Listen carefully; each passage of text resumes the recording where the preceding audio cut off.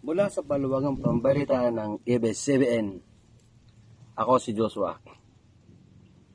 Andito kami ngayon sa Calatrava, kung saan dito matatagpuan ang Monkey Sanctuary.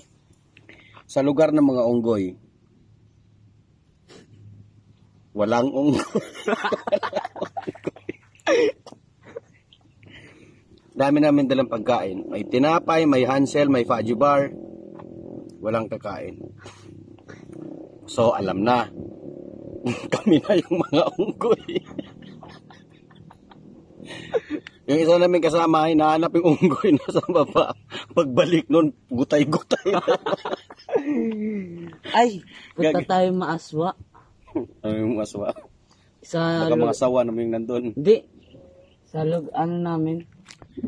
Lugar namin. Kaya yung paghahagilap namin ng unggoy, wala. Ayan. Ayun yung barangay hall ng unggoy. Barangay hall.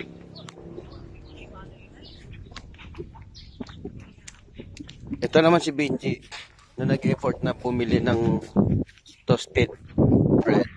Walang kakain sa toasted toasted toasted Toasted bread. Walang kakain sa toasted bread. Kaya kami na lang ang. Kakain. Kami na unggoy. Oh, yan pa ang isang unggoy. Si Jude. Zero.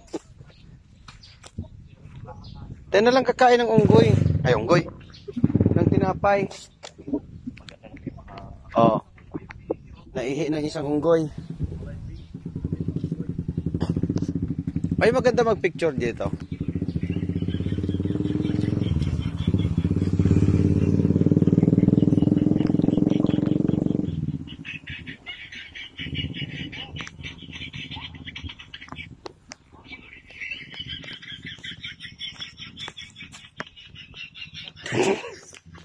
Picture mo nga ako dito.